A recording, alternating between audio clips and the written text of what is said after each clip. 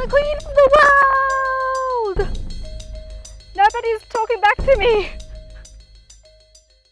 Before we knew the whole project about Kwaxolo Caves, the people who live around here, they called it Estombin because the grandfathers will tell the, the younger generation, if you go down there, you will see Estombin. That was referring to the San paintings. These caves date back over 100,000 years and they were once open rock shelters for the indigenous San communities that live here. And once we get in, you will see the history and the culture of the San people all depicted in the rocks. So let's go. Okay, so the only way to uh, access these caves is through a climbing route and obviously you are taken with a qualified instructor. So how it works is that they use steel cables and rungs and those are fixed and you are actually very secure when you're going through the caves.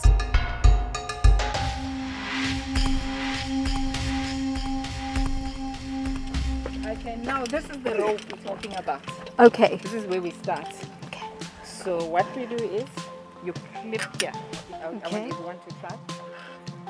Clip that side and then move over.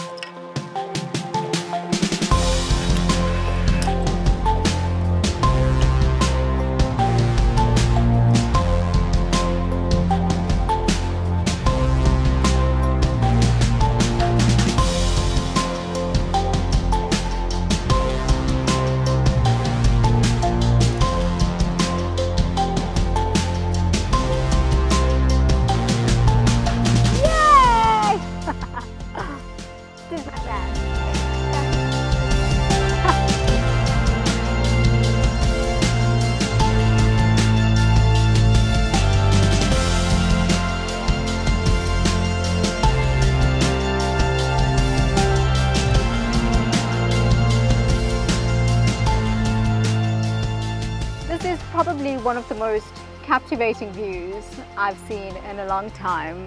You know, what's so strange is that we're always traveling to the most exotic places and we're looking for, for this. We're looking for this in another country and it's right here.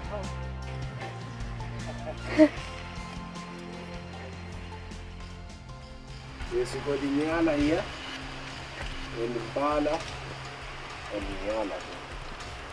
Oh, wow. So got three clear this side, one that side, then the fingertips and the thing like a zip line there.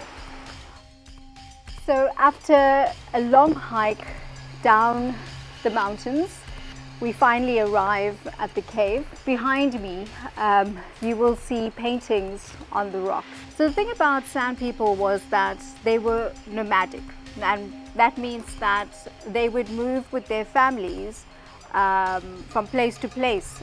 Uh, they would settle in places that had three things, shelter, food and water. And as soon as those things started depleting, it was time for them to move on. And when they left, they left all their worldly possessions behind. They left their pots, their clothing, everything behind. And they would now go and settle somewhere else where they would find resources. But the thing is that after all those years, there's still the history that's behind me. It's there for you and I to find. It's just a matter of looking.